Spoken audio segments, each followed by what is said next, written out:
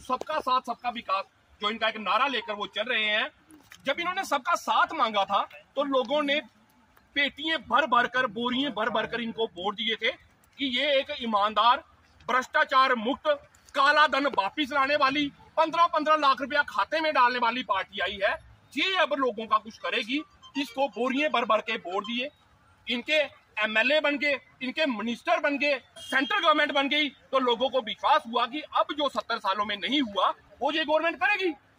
जब इनका साथ इन सबको मिल गया तो विकास की बात आई तो इन लोगों ने विकास किया अंबानी का, अडानी का माइनिंग माफिया का, शराब माफिया का एपटेक कंपनी का।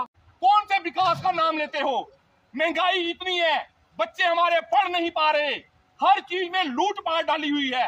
और आप कहते हो कि देश तरक्की कर रहा है। ये देश आज सत्तर साल पीछे चला गया।